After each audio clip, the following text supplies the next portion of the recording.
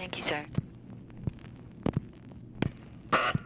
Yes? Secretary Rusk on oh. 90. Yes?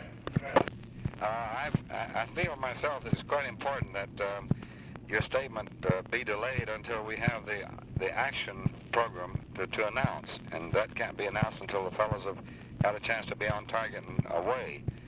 Uh, if you make the statement without uh, the reference to the specific action, it will simply create great, great confusion all over the world for for quite a few hours and among our own people. I don't know what your own problem is about airtime and that sort of thing, but um, uh, I would hope that you could uh, make your statement uh, when it's safe to do so from the operational point of view. Well, uh, have you talked to McNamara about this? I haven't on this particular point. No, I just talked to Mac Bundy. No. Well, uh, uh, I'll call him and call you back if you wish. yeah, you all better, they, everybody's got a different idea, Dean. They're just running all over the lot. Uh, All right, I'll call him and oh, we'll. Mac, to get with uh, McNamara, uh, what does Bundy say? Uh, what, McGeorge Bundy? Yeah. Um, I think he uh, tends to agree with me on this. But let me get get a hold of Bob McNamara. I didn't.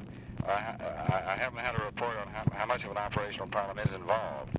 Well, uh, the last, the plane's just starting to get off now, and it'll be after midnight before you can have any statement.